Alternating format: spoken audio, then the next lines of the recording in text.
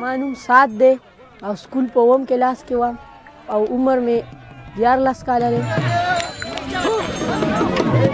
غوانو شوق کوم او دا زغلوم او سلو پنځه کاله مې شول چې د دې دا پسې کینم او د وړوکوالي نه مې دا شوق دی چې راخلاص هغه پای ما یې خولني او بس څوک ورسره یې نه او پړی د پېزواندونو له خوله پړی هم نی او بس صرف یو پړی به یې نیولی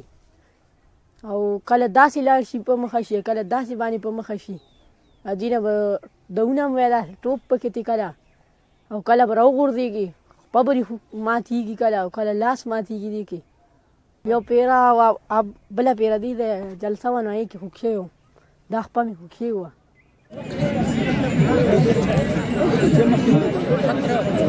زمان وبد خان نوم دی او د پلار نوم بلن خان مونږ د چونترې دا زمون د نیکر وخت دی دا شوک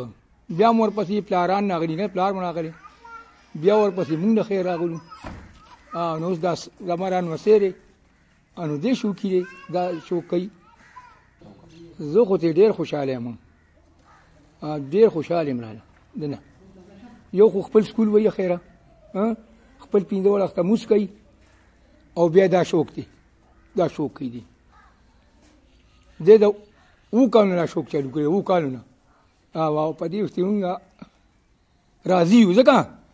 چې جواری نه کوي غلا نه کوي غمونه را نه ګوري ښه چې را پلان یې که کسب کوي هغه سړی صحیح ښه